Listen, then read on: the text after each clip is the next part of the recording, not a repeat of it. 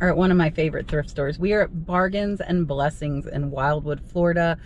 This has been one of my favorites since I found it about a year ago. And they have opened a new building, like a complete new building. So there are two thrift stores that are both theirs, one on my right, one on my left. We are gonna go in and check both out and see what we can find. This will be for a thrift box for you to flip for profit. If you missed it, I am thrifting because I like thrifting, but I don't need to add to my death pile, so I'm selling everything to you.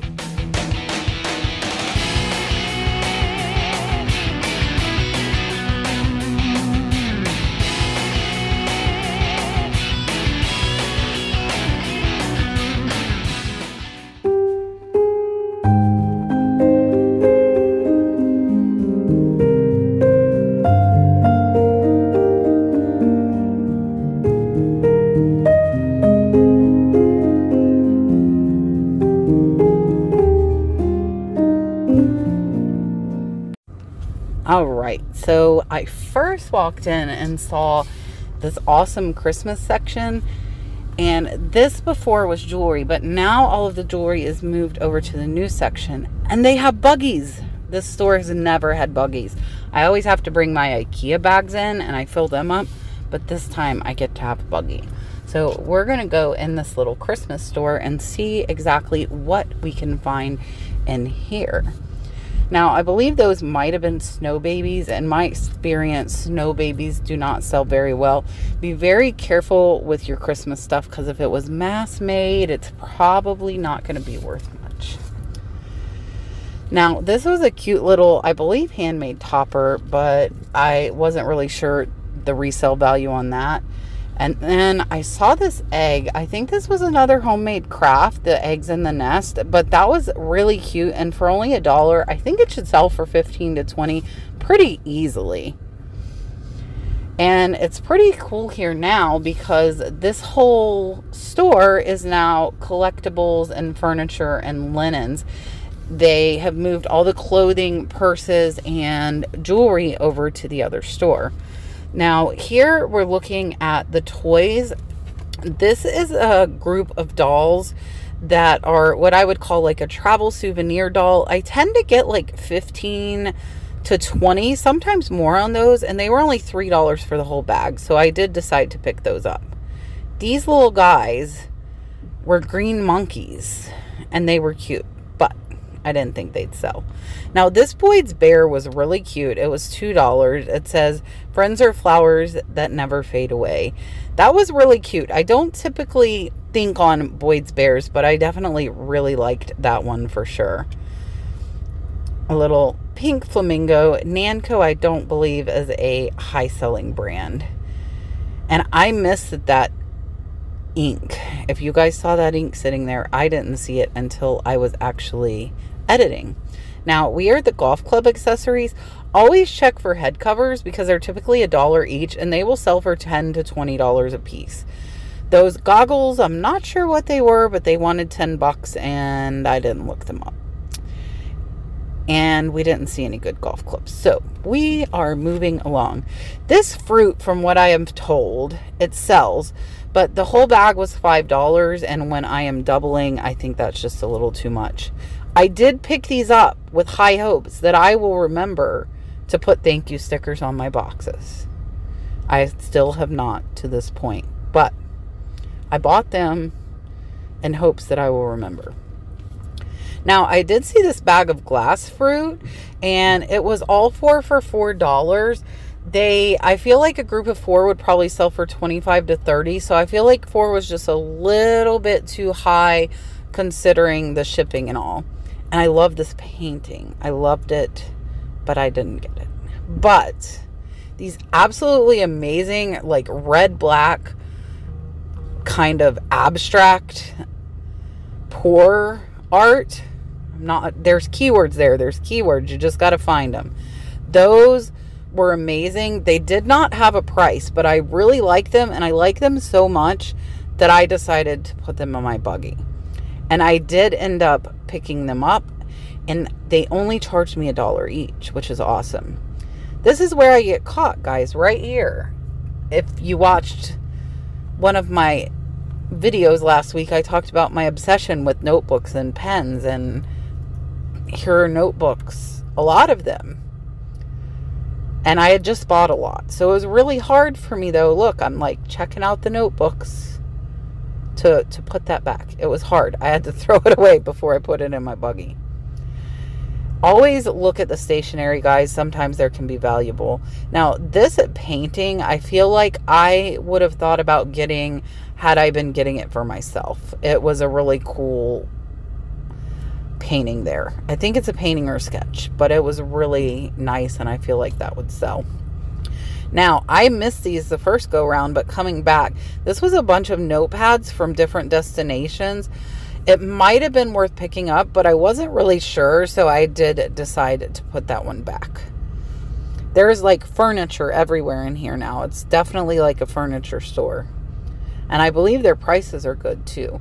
So now we are going to move here to placemats and napkins and things like that.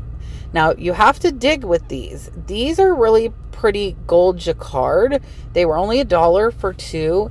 I feel like those should sell for 12 to 15. I have had really good luck with cloth napkins making a good profit.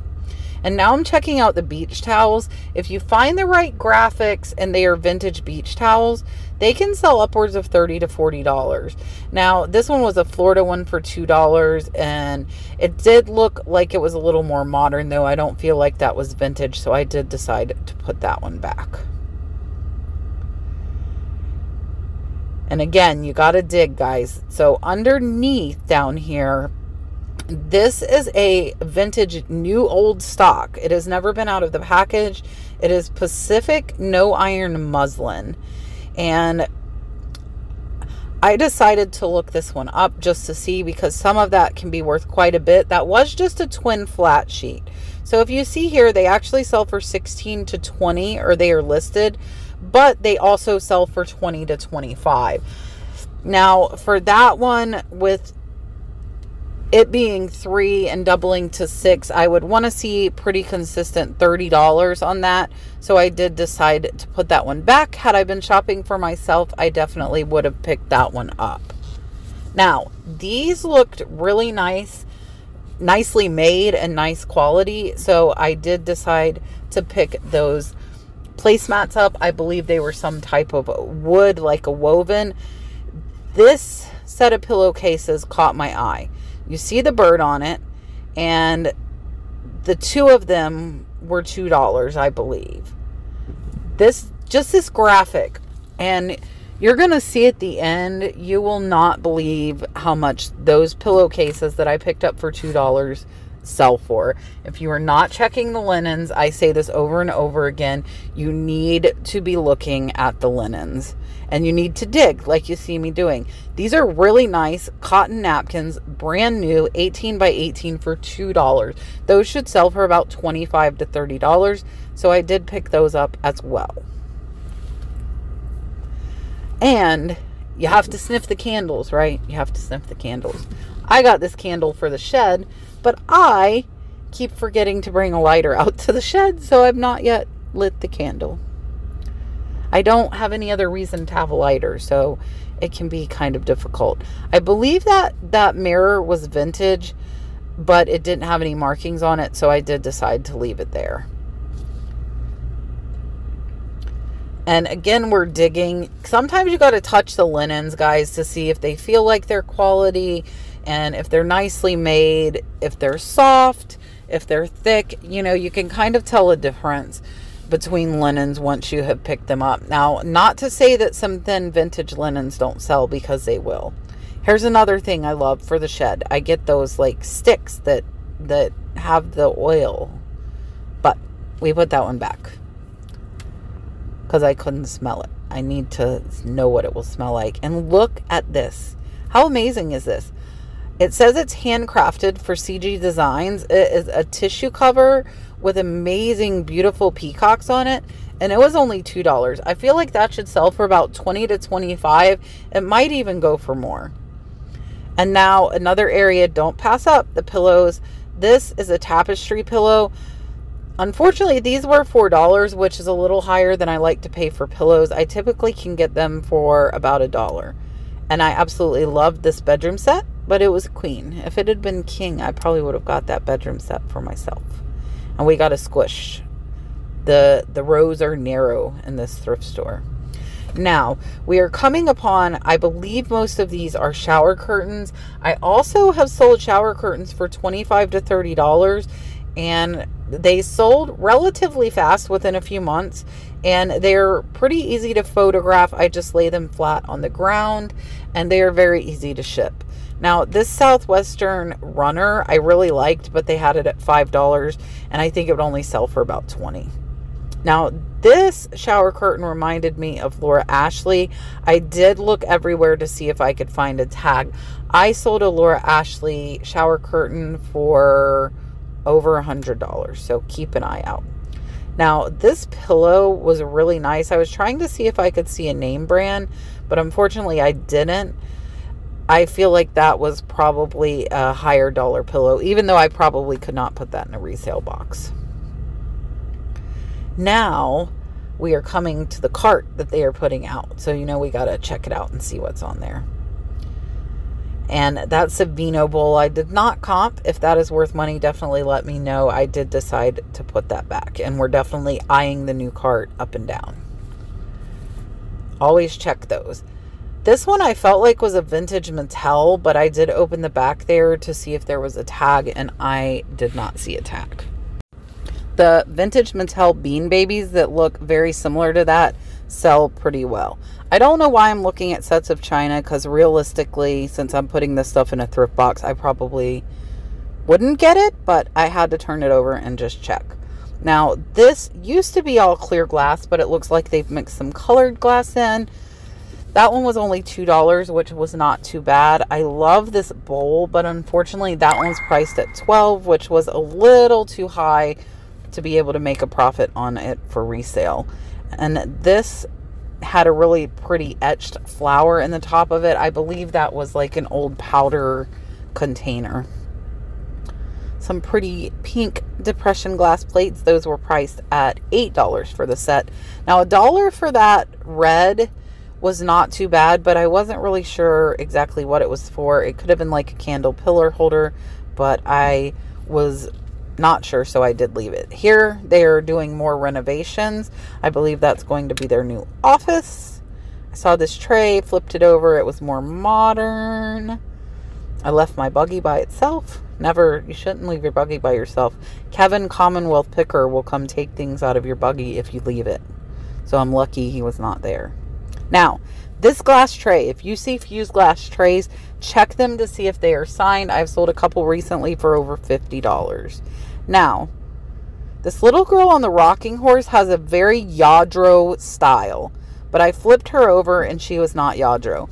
They had her priced like she was Lladró. She was priced at $15, but I wasn't familiar. I don't even remember the name of that one, so I did decide to leave her there. And I was checking that cross for a crystal symbol like Swarovski or perhaps Waterford always look on the bottom and on the bottom of crystal it's very very hard to read so you have to look very close and kind of tilt it to make the light hit it at different angles now I love selling trivets. I sell trivets pretty steady for 12 to $15. This one is from Istanbul. It has a foam on the back. It's really, really nice. And it was actually not marked, but I did end up getting it for only a dollar. So that was a definite pickup. And then this one here is from the Pope House. And that one was marked a dollar. So that's how I got the other one for a dollar. They saw one trivet was a dollar, so they charged me for the other one. I think both of those should sell for 12 to $15. And I've had really good luck with trivets, both on eBay and Facebook Marketplace. Cute little, cheaper, you know, under $20 decorative items seem to sell well. And then look at these. These are LuLaRoe, but they are Nightmare Before Christmas. Do not pass up every single LuLaRoe you see. If it is an interesting pattern, pick it up. Here is another one. This, I'm not sure if it really is the Cheshire Cat, but it really reminds me of the Cheshire Cat from Alice in Wonderland. Both of those were $2 a pair. The Nightmare Before Christmas should sell for $30 to $40, possibly a little more, and the other pair should sell for at least 20. Now, I saw this beautiful Portugal vase. Portugal hand painted items are one of my favorite. It had a bird and a dog, and it was only a dollar. So I definitely picked that one up as well. So I'm loving the little trinket section, and I'm really loving them having more room for collectibles now that they've separated their clothing and accessories from this section. Now, these are tablecloths, and I didn't see any that really caught my eye, so I did decide to leave those there. And then they have more placemats. So there were placemats in the back, and now there are placemats in the front. But I saw this little garden flag. I do very well with these at about 10 to $12. This one was a dollar, so I thought that was a great pickup with Christmas coming. And now, more knickknacks. I love, love, love knickknacks. Look at this beautiful Japanese black enamel or lacquer, sorry, black lacquer jewelry box with the women inlaid with mother of pearl. That was only $3. I was checking these coasters out, but no mark. But we definitely are going to get this awesome lacquer jewelry box or trinket box. It's pretty small. Now, I saw these and it's only a dollar for a set of four. These are cute little vintage kitty cat sun catchers. I feel like you could either lot these up for about $30 or sell them for $12 to $15 a piece. So for a dollar, we definitely picked those up as well. Now, I have had decent luck with those little glass on the mirror. They're kind of generic and cheaply made, but they sell for like 10 to 12 bucks. If you see them out cheap, I would definitely pick those up. She was interesting, but she was not marked. So I did decide to put her back. She's very pretty with her violin, though. I definitely liked her. All right, let's go see what else we can find. So these are the costumes. Again, we are a little late in October to be buying costumes, but look at this cute 3D doggy stocking. But when I looked at the price tag, I noticed it said as is. Well, there's a big rip. So that is not something I would want to pick up. I check out the coasters. I have done okay with coasters as well, especially if they're low cost because those are pretty easy to list and ship. But all of those looked pretty modern and weren't super interesting where I felt like I could keyword them very well. Those little toothpicks were cute. I was on the fence. You see me doing my second little tap there. I definitely was on the fence about those. That little ladybug sponge holder probably would sell for 12 to 15, but I did not pick her up. I see a lot of Ganz stuff all the time, but most of it does not sell very high and it is heavier and a little harder to ship. Now, with Hallmark ornaments, I always am looking for birds. A friend of mine sold a Hallmark bird ornament, like a realistic bird, for $199. So I always peek through with Hallmark, the Barbies are never really super impressive, so look for anything that just stands out. And then here's another bear, but she was attached to her sled, so I left her there. This was a little hand-painted little fruit glass bowl, I guess? I don't know. So this has typically been where I found a lot of good stuff. I love that cardinal picture up top there. And then they have got a ton of Christmas out right now. And you definitely want to check the ornaments. Shiny Brite is one of the top brands that comes to mind. Also, a lot of Mercury ornaments with glitter will sell very, very well. So definitely keep your eye out if you can pick those up cheap. And they really are not super hard to ship. You just have to wrap the ornament box in bubble wrap, put it inside of a box, and we have not had any issues. Most of these clowns I feel like were massive produced. Anything that's mass produced, like your Avon bottles and these clowns, are not going to hold a very good resale value, unfortunately. I did not comp that Lefton Cardinal basket. And now there were some more clowns in here. These might have done okay, but I decided to put them back. And then we had this flamingo. That was a little more realistic looking flamingo, I feel like. And I had to like almost climb over this table because I see the Franciscan apple back there. So we are going to try and reach it. Now, these were just the teacups, I believe.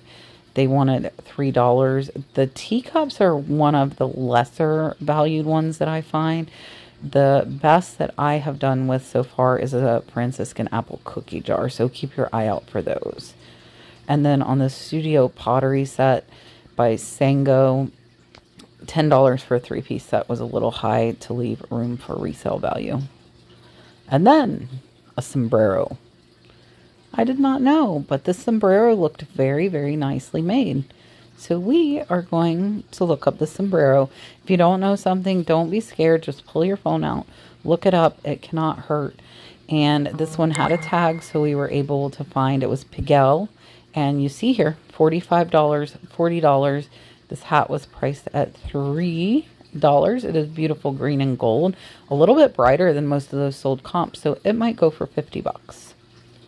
Now, I saw this sewing box down here on the bottom.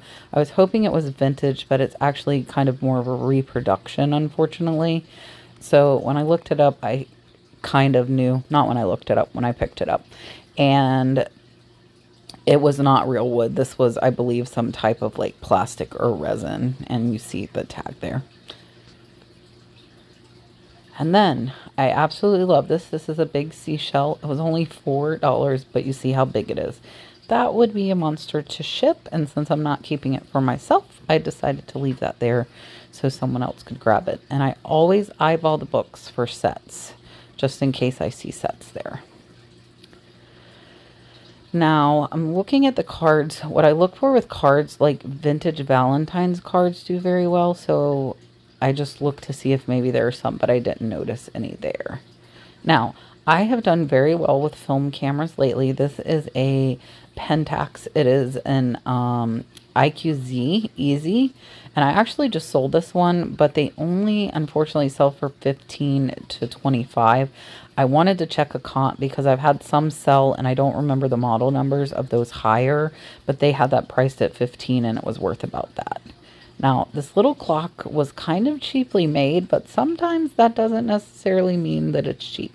So we are looking at Queen Quartz and I didn't see anything that looked similar to it, but just that brand was selling for like the 20 to $30 mark and that one was 15 now, these little mantle clocks I do always look up. That was a Howard Miller quartz. And you will see some of these are worth 85 up to 100 but the smaller ones are not very valuable. So I did leave that one there. This piece, if I had been thrifting for myself, would have went with me. But it was $6, which would have had to be multiplied times two. It was Boma, Canada. And this is a little Eskimo, and he's actually ice fishing. That's what the string there is. And I put fishing, and you can see they go for like 25 to 30.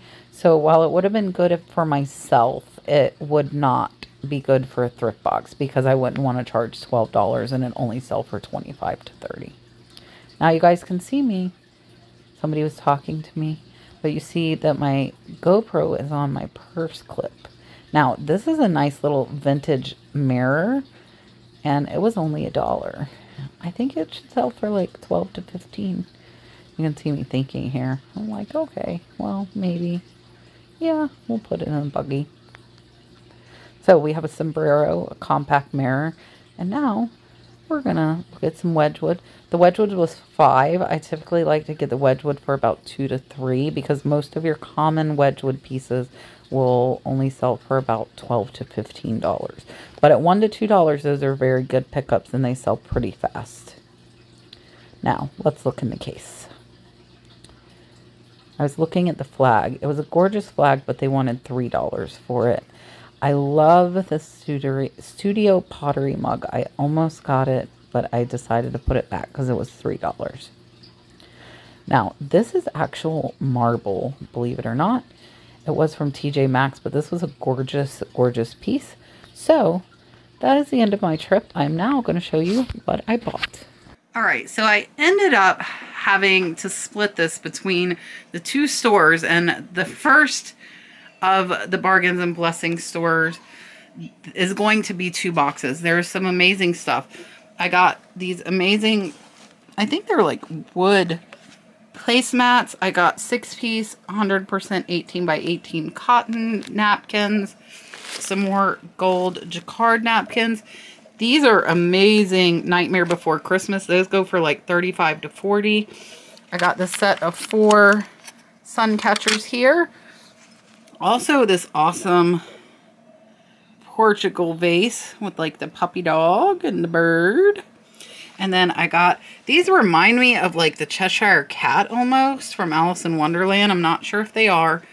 And also this garden flag is going to be in this one. The kicker for this one, guys, is these two pillowcases. So this box is going to be 30 plus 15 for shipping. These pillowcases, once I unrolled them and looked on the inside, are Pottery Barn. And two, this pattern is more amazing than what I saw anywhere and two that weren't even as amazing as this sold for 65 I am pretty sure you can get $100 for these two pillowcases from Pottery Barn. That was the best pickup of the day and I didn't even know it. All I could really see was like the bird's face and that that was a great find. And then box number two is going to be this awesome jewelry box here. I paid three this is not marked, but it's a nice black lacquer with mother of pearl with the velvet interior. I think this one should go for 25 to 30. I got these, I think it's five or six Sleepy Eye dolls. There are some really cool ones in here. And these were only three. And then I got these two trivets here, Istanbul and Captain Nathaniel Pope House. This is handmade, and I just thought this was super cool. It was only a dollar. And then this really cool peacock tissue cover. I think that should go for like 20. I did comp this sombrero. It should go anywhere from 35 to 50. I didn't see any of this like bright gold and green. And then these are really cool poured abstract canvases. I think these could go for 40 to 50 for the pair. You're just going to have to keyword it well. So this box is also going to be $15 or I paid 15 it'll be $30 plus it'll be 15 for shipping. So each of these boxes will be $45 there's number one and there is number two. Good luck to those of you that get them. I think both of these are going to be some great money makers the hat should pay for everything in this lot and those pillowcases will more than pay for this whole lot. So two really, really great boxes.